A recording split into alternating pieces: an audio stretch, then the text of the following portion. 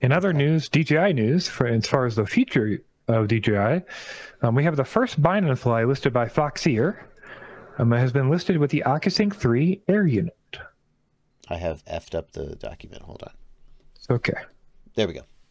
Yes, the Foxeer Aura 5 inch freestyle drone. Uh, you can get it with. It's kind of cool to see a single bind and fly with all these VTXs available. HDZero, yeah. sure. Vista, sure. I, Analog? I think that's a 1 watt too. I think that's a 1 watt uh, well, VTX. So. Damn well yeah. better be. For a 5 inch freestyle, it better be the 1 watt. um, and DJI O3. Now, here's the question, Blunty. Did Foxeer just do this to troll us? I mean, it's not impossible. So, I don't think so. I think made they maybe pushed it on accident, or they pushed it because they felt like it would push traffic to them or something. But I can tell you that like part of the reason we heard about leaks and we knew information about the OcuSync 3 Air units was because people were getting demo units to try out for bind and fly setups mm-hmm. at these retailers. Like I know mm-hmm. that was the case. Mm-hmm. So um, I would guess that that's part of where this comes from. But part of the reason we're bringing this up is today is the 27th. And today yeah. was the rumored, you know, as of three weeks ago, was the rumored date that we never got kind of reconfirmed of the OcuSync 3 Air unit launch. And obviously today, we didn't get a launch that OcuSync 3, 3 Air unit. But not only that, we haven't gotten any leaks or any new updates or any teases or anything like that. Nothing. Um, and I've waited to tell you until now. I got this about a week and a half, two weeks ago, but I did get um, a report from somebody I can't reveal, a source I can't reveal, that said there was going to be a delay on the OcuSync air, air unit, and it was going to be somewhat uh, substantial delay. Hmm. Um, but there was one source, and I can't, I don't want to like shake everything up for one source. But now it does appear that that was correct, you, and you, I do think, you, yeah. Are you saying we don't just take one little leak and then make earth-shattering news? Yeah, just uh, to just uh, to get clickbait stuff. But we actually contrary to, contrary to popular belief, uh, yeah, we we did not just spread clickbait and randomness. I try to source most of what I have from at least anonymous sources, and uh, I was not able to confirm that. I asked a bunch of other people who were in the know, and nobody could tell me about a delay.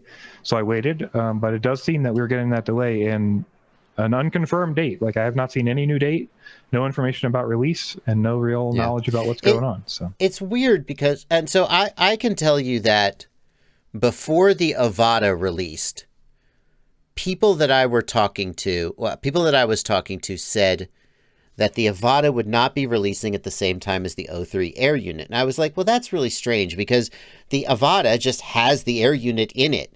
So just rip it out and sell it as a separate retail unit.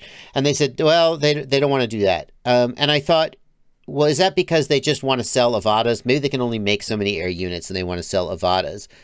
Um, and they said, no, they don't want to hold the Avata until the O3 air unit is ready. And I thought, yep. well, that's interesting. That's not a sourcing or a supply problem. That says that there's something about the O3 air unit that they're still sort of trying to work the kinks out of. And it sounds like they're still trying to work the kinks out of it for whatever that's worth. Um, yeah. It's so weird to me because it feels like like how could DJI have gotten this close to a product release and still be working the kinks out of something? I don't know. It's weird. Yeah. One thing we do know, or one thing that we've at least heard very often, is that they really change these teams over a lot. And then a lot of the teams that we're seeing, like, you know, the Avata team is completely different or mostly different from the FPV drone team. And that was completely different from a lot of the Air Unit and Vista team. And so if that's the case, and a lot of these people have cycled out or gone other places or moved to different departments, there may just not be a lot of understanding about um, you know, pushing this stuff for the FPV systems and how they're mounted and like what all the what all the stuff goes through and the abuse and all that stuff. So maybe they found major issues in testing they didn't feel comfortable releasing. So, and these new designers weren't familiar with the same issues that the old ones were. But yeah. otherwise, it's you know obviously we're just speculating. We don't really know. So yeah. I would like to say regarding our, our, our, our editorial policy about leaks is we're not right 100% of the time. We'll always try to disclose when we're giving you something we think is a reliable source or a fact versus a leak or a suspicion. We try and let you know what the uncertainty bars on this. And, uh, but we are selective and only try to release information that we think is reasonable to share and not just like one dude said it and now we're going to clickbait you. Um, there have, I, I'm sure that someone could look back at the whole history of our show and find a case where we released a leak, we covered a leak, it turned out to be wrong, and someone would say, "Hey, they clickbaited it," and and I, and I would could just say, one, I could tell you one right now. It's the Do you have one Insta off the top of your head? 360. Yeah, there's an Insta 360 session style thing that was like a fake render that somebody made that we shared. "Did we say Um, it was real?" Yeah, or we said it like seems real and it seems legitimate, and we hope this is the product and there's no evidence of it, but it certainly seems like it would be legitimate, and then it was totally fake. So like, Yeah. there are cases where we'll share something that I can't vet, but like that's the world we live in, right? So Yeah. yeah, I, I would I would just I was just going to say I think that uh, we would always feel maybe incorrectly, but we would always feel that we had a semi. You know, I like to say is it at least fifty one percent likely to be true. Yes, you know, I agree and that. and and, Yeah. and that you know. Just because maybe well, sometimes, hopefully rarely, we turn out to be wrong, doesn't mean that we just willy nilly throw leaks up here just to get clickbait.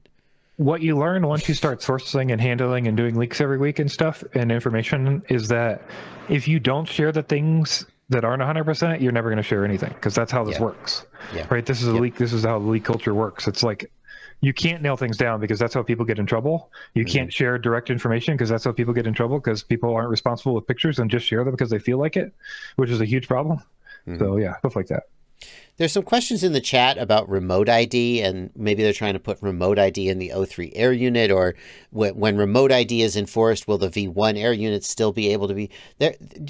I don't want to do a deep dive in that because that's not really the focus of the live stream. There's no need for any relationship at all between the air unit and remote ID because the air unit at the end of the day is a video transmitter. The only thing that has to have remote ID is a manufacturer a standard remote ID drone where the manufacturer has to put it in. Everything else, all home built drones, etc., will will have a remote ID module that you, the builder, will add. And so there's no reason why DJI would need to even think about remote ID as regards to the O3 Air unit or the V1 Air unit. Yeah, it's sort of extra work that's not that doesn't really make any sense for them. And currently, we could also tell you that like every DJI drone puts out drone ID, which is DJI's thing you pick up with an aeroscope device. Air units and Vistas do not put that out, and we do Mm-hmm. Right. not expect OcuSync Air Unit Three will. It might, who knows? But Yeah. we don't expect it will because That- there's you know they have drone ID for drones because they're drones. That's the point of drone ID. Right. The any, any the the the flight controller would have remote ID built into it.